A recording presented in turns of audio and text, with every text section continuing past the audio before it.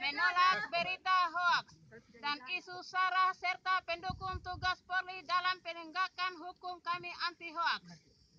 Bagus, bajingan.